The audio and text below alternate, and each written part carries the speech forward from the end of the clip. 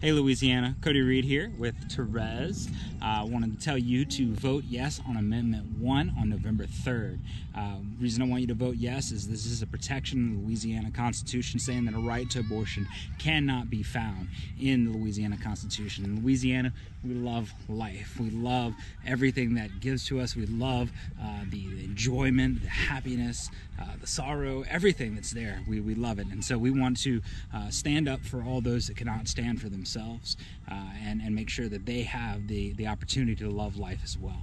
Uh, we know that um, from the moment of conception, the unborn is a living human organism. So, because of that, it deserves the right to life. And so, let's uh, keep moving forward and vote yes on one on November 3rd. Thank you.